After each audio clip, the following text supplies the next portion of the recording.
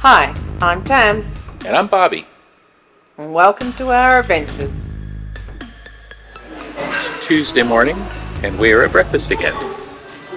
They've got us against the wall with these pretty pictures of Savannah. And um, with orange juice, coffee, and just gonna have her water. Pam got the French toast casserole with some fruit. I went old school, scrambled eggs, hot sauce, uh, homestyle potatoes, bacon, and some grits.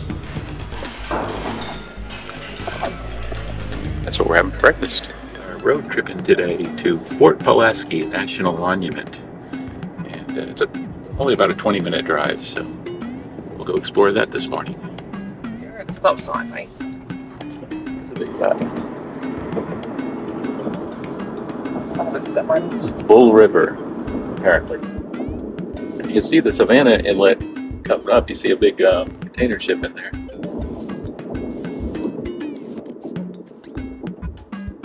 But we can't see it on the GoPro. I'll have to zoom in.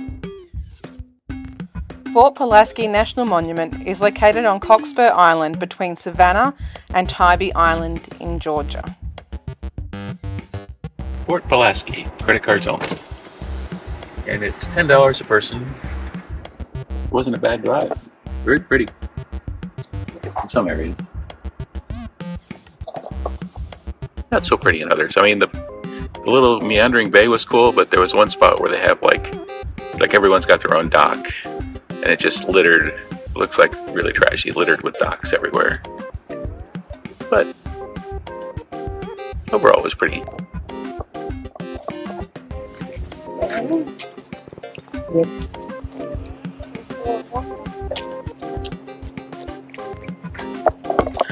just went to the visitor center, saw the little introductory movie, and we're gonna go explore Fort Pulaski.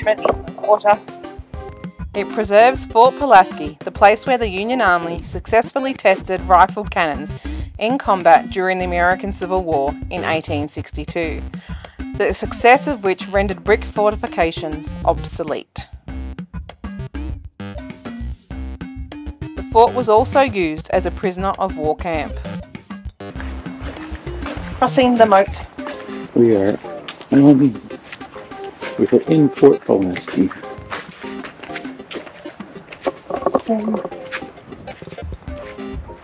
Some um,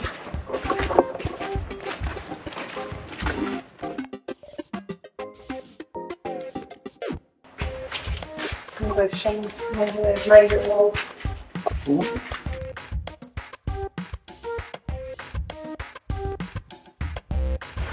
Nice and cool in here.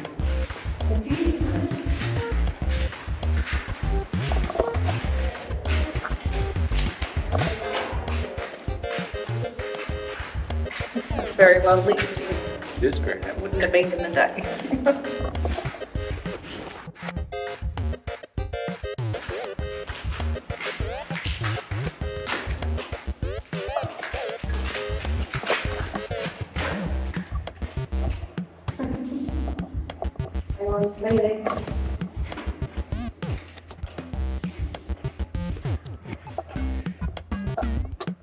Boo, you can't see me because you haven't got it the right way around. Like, look, there, up, up, turn it more. Boo.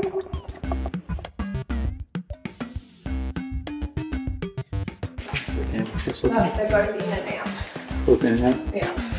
There you go. Come out. Go back up this way. There's a hole on the floor there. It's a uh, second moat. This is a little island before the proper fort, I guess. This is the fort fort. So this was the berm area with the storage. This is the fort proper. It's full coming off the water.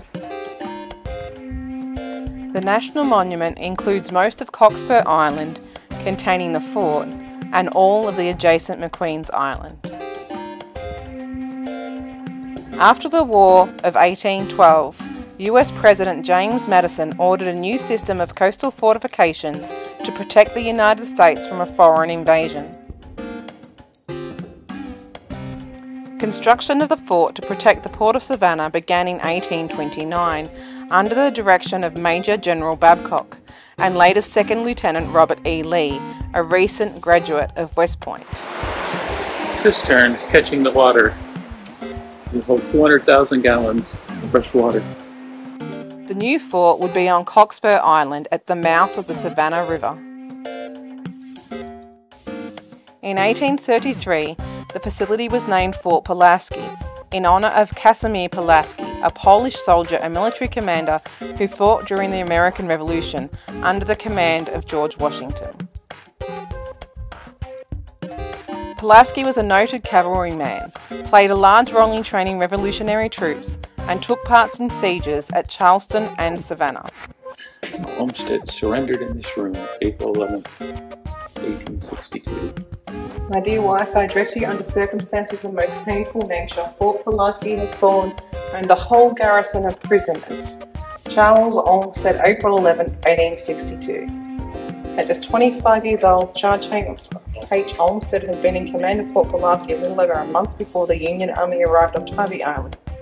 A Savannah native, Olmsted knew the importance of Fort Pulaski and keeping the river open. When on the morning of April 10, 1862, word arrived that the Union Army was demanding the surrender of the fort, he could give but one answer, that I was there to fight, not to yield.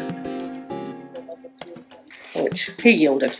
He yielded. 30, yielded 30 very quickly. 30 Fort Pulaski belonged to what is known as the third system of coastal fortifications, which were characterized by greater structural durability than earlier works. Most of the nearly 30 third system forts built after 1816 still exist along the Atlantic and Gulf coasts.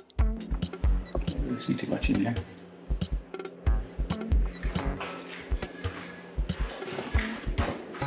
Wood pilings were sunk up to 70 feet into the mud to support an estimated 25 million bricks.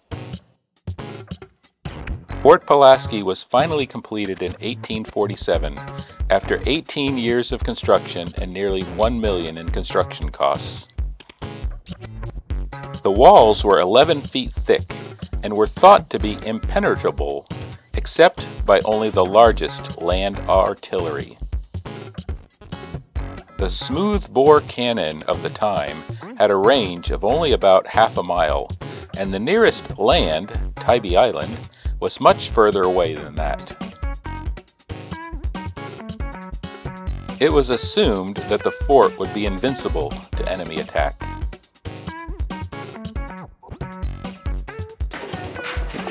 Radius, turn radius. Mm-hmm. Yeah, pretty good turn radius. In reference to the fort's strength, United States Chief of Engineers General Totten remarked that you might as well bombard the Rocky Mountains. Though completed in 1847, Fort Pulaski was under the control of only two caretakers until 1860, when South Carolina seceded from the United States and set in motion the Civil War.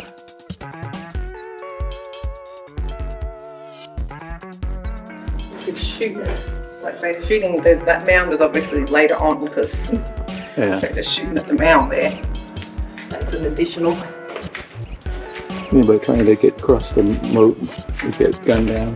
Georgia Governor Joseph E. Brown ordered Fort Pulaski to be taken by his state. Can you find the paw print? Yes. A steamship carrying 110 men from Savannah traveled downriver and the fort was seized by the state. Near the end of the 19th century, a fire swept through this corner of the fort and destroyed many of the original floorboards. When the fort was undergoing restoration, restoration, it was decided to leave this corner uncovered, so some of the foundations of the fort could be seen.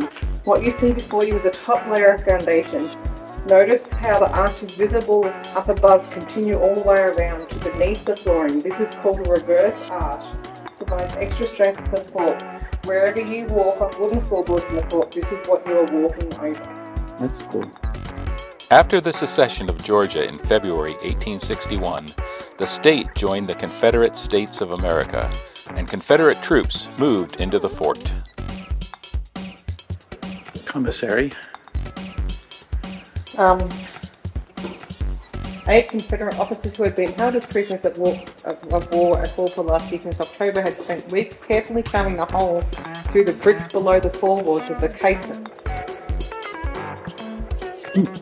Last night, some of the Confederate officers attempted a skillful but unsuccessful escape by working an old vent hole in the subterranean chambers. They dug through another vent into the commissary's casement, then by a rope dropped into a ditch and swam the moat and eluded the sentries under cover of a dense fog.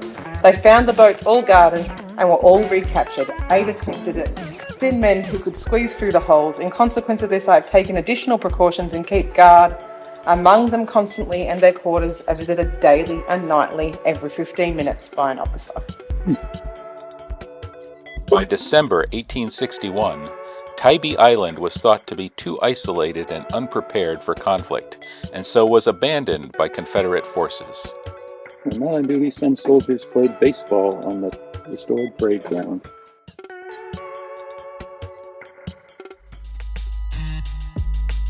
This allowed Union troops to gain a foothold across the Savannah River from Fort Pulaski.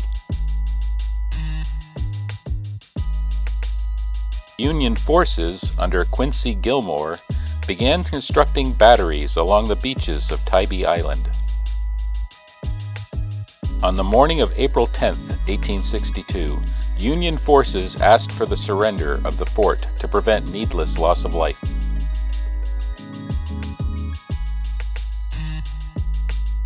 Colonel Charles Olmsted, commander of the Confederate garrison, rejected that offer. Confederate prisoners of war. I wasn't a Confederate, but I found out a Hussey was. Naughty, naughty hussy. Fort Pulaski was prepared for a possible infantry attack, but it never endured a direct land assault. Using 36 guns, including the new James rifled cannon and Parrott rifles, Union troops began the long bombardment of Fort Pulaski. Upskirt. Upskirt, Maryland action. Okay, we're gonna take this slow. Because, you know, stairs. Just do one step at a time. One foot at a time. At least there's a wall to hold on to, not like Belize and Oh, Mayan, was. Mayan ruins.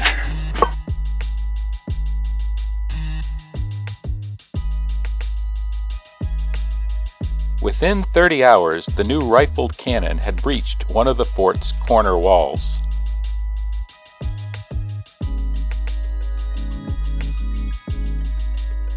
The rifled projectiles could be accurately fired farther, up to 4 to 5 miles, than the larger and heavier smoothbore cannonballs.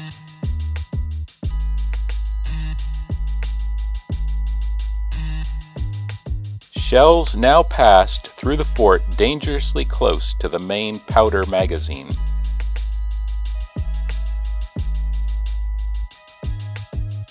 Reluctantly, Colonel Olmsted surrendered the fort.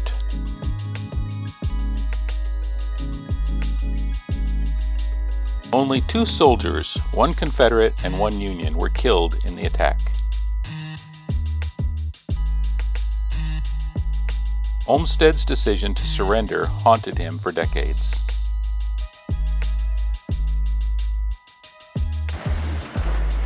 Up on the top wall, there's like the cannonballs come through Oh, yeah. from the other side. Gillmore succeeded almost entirely because of his rifled cannon, which caused massive damage in the walls of the fort.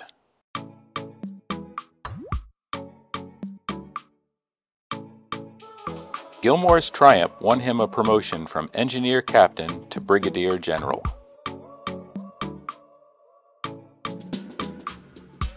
Within six weeks of the surrender, Union forces repaired the fort, and all shipping into and out of Savannah ceased. Which says Atlantic Ocean, Tybee Island, Hilton Head Island is over there. Got the North Channel, where's the red? Savannah's back that way. That's who the North Channel now is one they use, the Savannah. They no longer use the South Channel. Christopher Hussey. The loss of Savannah as a viable Confederate port crippled its war effort.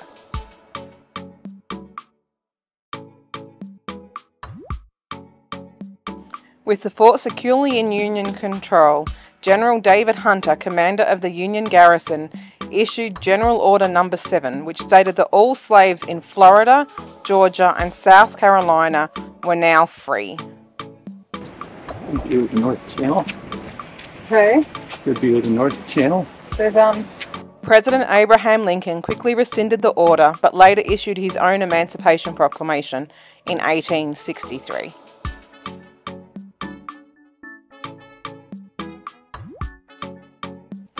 Fort Pulaski was made a final destination on the Underground Railroad as slaves throughout the area were freed upon their arrival to Cockspur Island.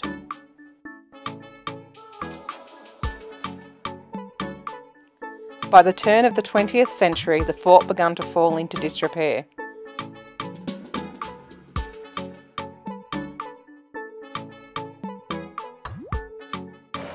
Not very far from Savannah to Hilton Head. Hilton Head's the big marina, isn't it? Yeah. Where people go on the well loop. Yeah. In an effort to save the old fort, the War Department finally declared Fort Pulaski a national monument on October 15, 1924, by presidential proclamation of Calvin Coolidge.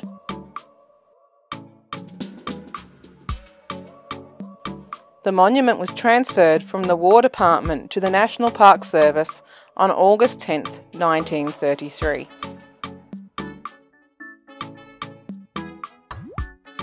Repairs were then started, and members of the Civilian Conservation Corps arrived on Cockspur Island and began rehabilitation of the fort. Heading back towards the car. Leaving Fort Pulaski.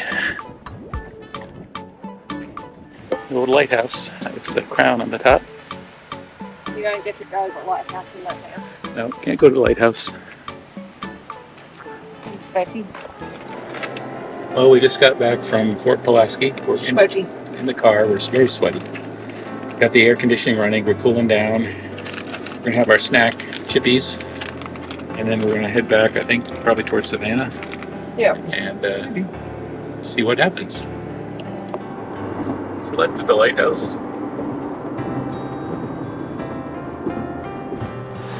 At the historic Tybee Island Lighthouse.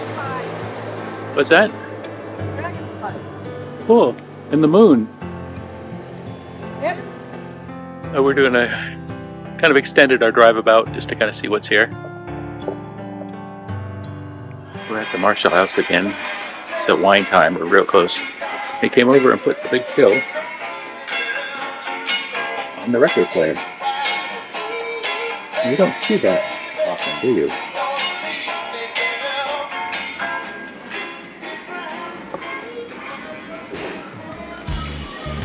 You don't often see the record on a record player. Yep.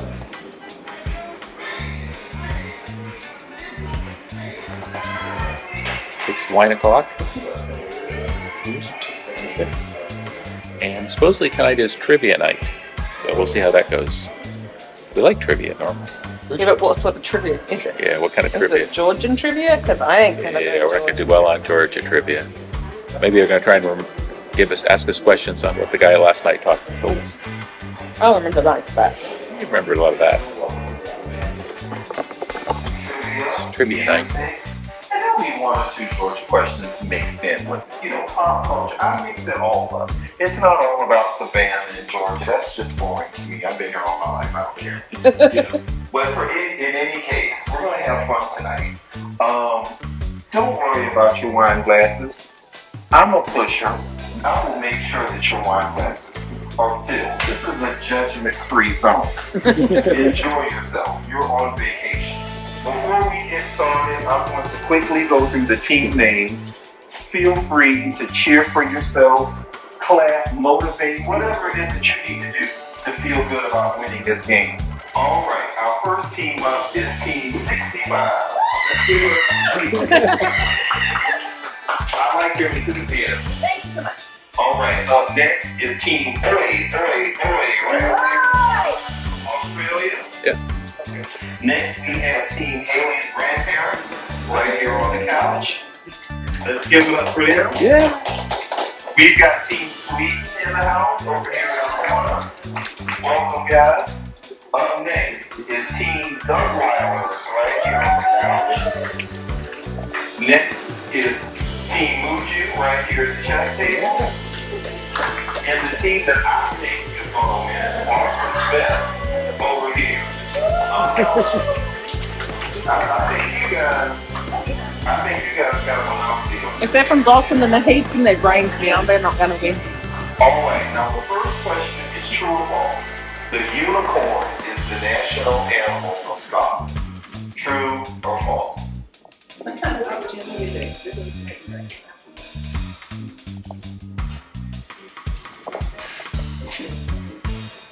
is the famous chat we've heard so much about from Tam. How is it? Good. So the chat's really good. We ate like half of it, and we decided we probably should wait for the naan bread to show up.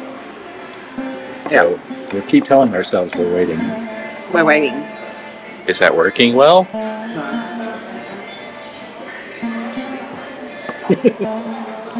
The tikka.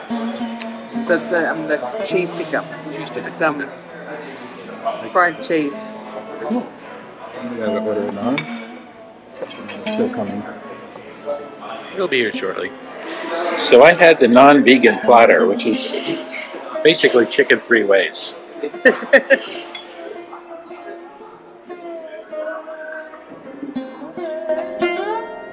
Hey, thanks for making it to the end of the video. Please like and subscribe to our channel. It would mean a lot to us.